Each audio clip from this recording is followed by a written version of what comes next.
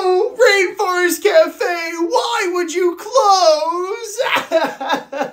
I'm sorry, Evan. It feels awful to have your favorite place closed down. I know how you feel. No, you don't, Kevin, because Arby's is your favorite restaurant and those still exist. Rainforest cafes are going extinct left and right. Well, at least there's still some at Disney World in Florida. We're not going all the way down to Disney every week. This one was super convenient. It was only five hours away. If only there was someone around here who was rich enough to buy Rainforest Cafe. Oh, please. No one is rich enough in this town to buy Rainforest Cafe except for my dad.